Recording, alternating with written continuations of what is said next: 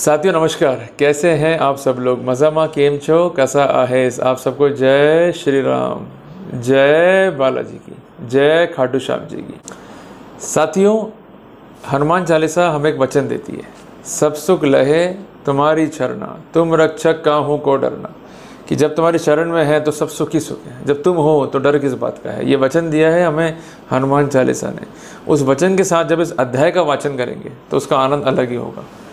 साथियों, कई बार लोग मेरे पास में आते हैं, परेशान होते हैं कि साहब, बच्चे को हम ले आए क्या? उठा के ले आए क्या? मैं कहता हूँ, भाई, क्यों उठा के लेके आना चाहते हो? तो वो कहते हैं, नहीं साहब, हमारे अपने बच्चे हैं, अगर हम नहीं लाएँगे तो कैसे होगा? पर जब बात लाने की आती है प्रैक्टिकली तो बस वहाँ पर गुब्बारे में से हवा निकल जाती है। अरे, पुलिस पकड़ लेगी तो क्या होगा? हमारे घर वालों को तंग करेगी तो क्या होगा? हमको डंडों से मारेगी, फिर क्या होगा? हम पे किडनैपिंग का मुकदमा कर देगी, फिर क्या होगा? हम पे एबडक्शन का मुकदमा हो जाएगा, फिर क्या होगा? हमारा बच्चा फीमेल चाइल्ड है तो हम उठा के लिए आए कि ऐसा तो नहीं कि पॉक्सो लग जाए। अरे बाबा, अगर इतने क्वेश्चन माइंड में रखने थे तो शादी ही क्यों करी? बच्चे पैदा ही क्यों करें? देखो, एक पिता को, एक बाप को बच्चे का प्रथम गार्जियन कहा गया है। और कानून में जब आपको ये मान्यता दी गई है तो ऐसी स्थिति में आप ही अगर डर रहे हो तो उस अबोध बालक की रक्षा कौन करेगा? जिसका बाप खुद डरपोक है। फट रही है उसकी, अरे भाई, मेरा बच्चा चला गया, अब मैं लेके कैसे आऊँ उसको? ये रोना बंद करो। कोई तुम्हारे आँसू पहुँचने नहीं आएगा। तुम वकीलों के दफ्तर में जाओगे, उनसे डिस्कस करोगे, तुमको डरा और देंगे, भाई, मत लेके आना भाई। You have to move for the case under guardianship and wanted इस तरह के लेक्चर्स देंगे आपको। इन लेक्चर से आपकी आत्मा को शांति मिल सकती है। बट जो आपका अपना बच्चा है, जो वो ले गए हैं, उसको तंग किया जा रहा है, उसको परेशान किया जा रहा है, उसका क्या होगा? जितना कंफर्ट एक बच्चा अपने माता पिता के साथ होता है, वो अपने मामा के साथ नहीं हो सकता, ये मांग के चल रहा हूँ अब आज वो लड़की के पियर में है, वहाँ पर क्या व्यवहार हो रहा है कि जो मामा का बच्चा है, वो तो आइसक्रीम खा रहा है, पर उसके साथ दुर्व्यवहार, अरे इसको यार दस रुपये वाली आइसक्रीम दे दो, इसको यार छोटा मोटा खिलौना ले दो तो वो जो डिस्क्रिमिनेशन है, वो उसको फील होता है काश मेरे पापा भी इसकी तरह अच्छे होते। तो कितना बढ़िया होता जबकि उसको ये मालूम नहीं है कि इसी आदमी ने उसके पिता को गाली गलौज किया। इसी आदमी ने उसका घर को बिगाड़ दिया। इसी आदमी ने और इसके पिता ने भी। अपनी बहन के या अपनी बेटी के घर को उजाड़ने में कोई कमी नहीं छोड़ी। आजकल हो क्या है? लड़कियाँ ट्रेनिंग ले रही है फुल फ्लैश अपने परिवार से। मम्मा, ये तो ऐसा कर रहा है, क्या करूँ? और पीछे आ जाएगी माँ, लटक जाएँगी उसके ऊपर पैताल की तरह। अरे अच्छा तू इसका ये इलाज कर दे। अच्छा तो इसका वो इलाज कर दे। अरे इतना गलत सलत ज्ञान देने के बजाय अपने बच्चों को ट्रेन करके रखो। अगर इतना ज्ञान देना तो बच्चों को घर में रखो। कम से कम अगर ट्रेंड लड़कियाँ होंगी तो वो घर संभाल लेंगी और लड़कियाँ अनट्रेंड है अनकल्चर्ड है। अनसोशल है और उनका दिमाग, और बुद्धि सिर्फ़ वहीं लगी हुई है कि लड़कों का पैसा लूट लो, फिर उनको तलाक दे दो, फिर रीमैरिज कर लो और आगे चलते रहो। तो ऐसी लड़कियों को अवॉइड करें। तो सिलेक्शन के समय परिवार परिवार की स्थिति मेंटल एबिलिटी ये सब फैक्टर आपको चेक करना है, जो बताऊँगा आपको आगे मैं। साथियों, आप सबके माइंड में क्वेश्चन है कि बच्चा ले आएँगे तो क्या होगा? साथियों, एक बात मैं आपको स्पष्ट करना चाहता हूँ कि एक रिसेंट जजमेंट है ऑनरेबल सुप्रीम कोर्ट का Pawan versus state of Telangana का। इस फैसले में ऑनरेबल सुप्रीम कोर्ट ने अपने एक पन्ने में ही पूरा सार लिख दिया। जो जजमेंट है तेलंगाना हाई कोर्ट का, उसका पैरा नंबर है 18.1 उसमें स्पष्ट डायरेक्शन था कि बच्चा माँ को हैंडओवर किया जाए और कस्टडी जो है कोर्ट ने इनलीगल मानी या लीगल मानी, उस पर कोई विचार कोर्ट का नहीं था, बट बच्चा हैंडओवर करने के जो है ऑर्डर दिए तो कोर्ट ने कहा कि इस तरह के डायरेक्शंस नहीं दिए जा सकते, जो पार्टी एग्रीव्ड है, वो जाए गार्जियनशिप एंड बोर्ड एक्ट में, और इसके अलावा अगर बच्चा पिता के पास में है तो माँ वहाँ पर आके मिल सकती है। यहाँ भी पिता बच्चे को जो है लेके भागा था और उस पर एबडक्शन के चार्जेस जो है मारने लगाए थे। मसला क्या है कि जो पक्षकार हैं, इनका विवाह हुआ 2014 में। गर्ल चाइल्ड है, ये पैदा हुई 2015 में और जो बॉय चाइल्ड है, वो पैदा हुआ 2021 में। डिस्प्यूट्स बढ़ते गए। अल्टीमेटली वो जो लेडी है, वो घर से जो है अलग हो गई बच्चों को लेके और अल्टीमेटली पिता जो है बच्चों को लेकर आ गया।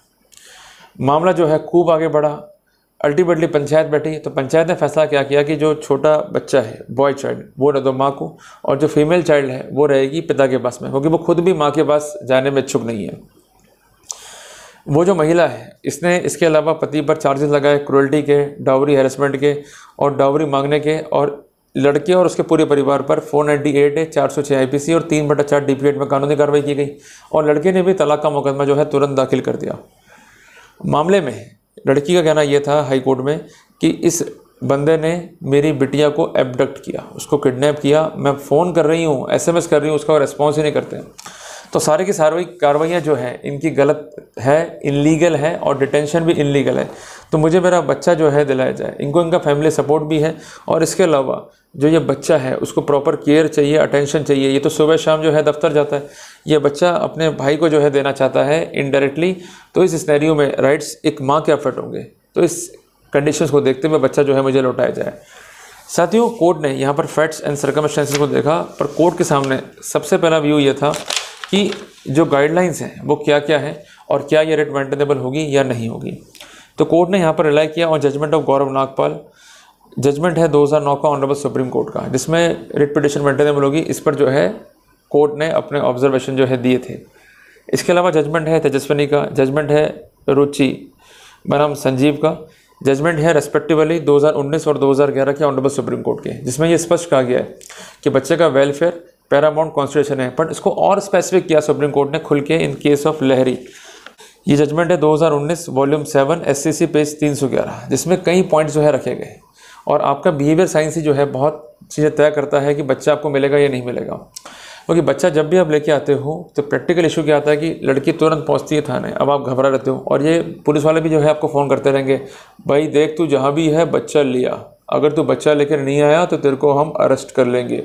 तेरे को हम गिरफ़्तार कर लेंगे, तेरे को मारते, कूटते, जीप में बैठा के लेंगे एक बात समझना, जब भी ऐसा फ़ोन आ रहा है तो उस फ़ोन को रिकॉर्ड करना है।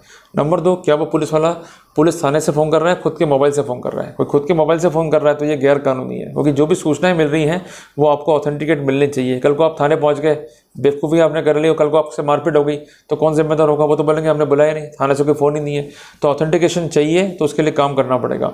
तीसरी बात है कि वहाँ पर आपके वकील को इंटरव्यू करो, आपका वकील बात करे। भाई प्रॉब्लम क्या है?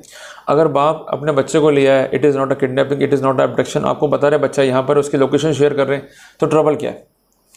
चौथी बात यह है कि आपको बच्चे से मिलना है तो मेरे दफ्तर में आ जाओ। ये आपके वकील का वर्जन होना चाहिए कंसर्न पुलिस को। कोई तकलीफ़ नहीं मिलवाने में हमारे को। बट हम किसी भी रूप में गैर कानूनी हरकत को बर्दाश्त नहीं करेंगे।